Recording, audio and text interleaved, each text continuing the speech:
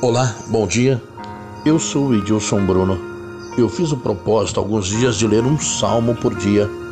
Hoje leremos ao Salmo 52, mais um salmo didático de Davi ao mestre de canto, quando Doeg Domita fez saber a Saul que Davi entrara na casa de Abimeleque, com o tema Condenação do ímpio. Então, vamos a ele. Por que te glorias na maldade, ó homem poderoso? Pois a bondade de Deus dura para sempre. A tua língua urde planos de destruição. É qual navalha afiada, ó praticadora de enganos. Amas o mal antes que o bem.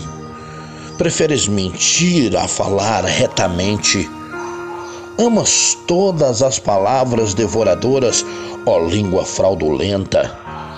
Também Deus te destruirá para sempre.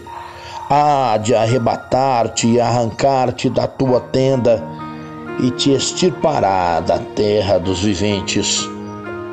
Os justos hão de ver tudo isso, temerão e se rirão dele, dizendo: Eis o homem que não fazia de Deus a sua fortaleza, antes confiava na abundância dos seus próprios bens e na sua perversidade se fortalecia.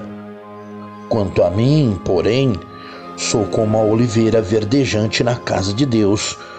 Confio na misericórdia de Deus para todo sempre.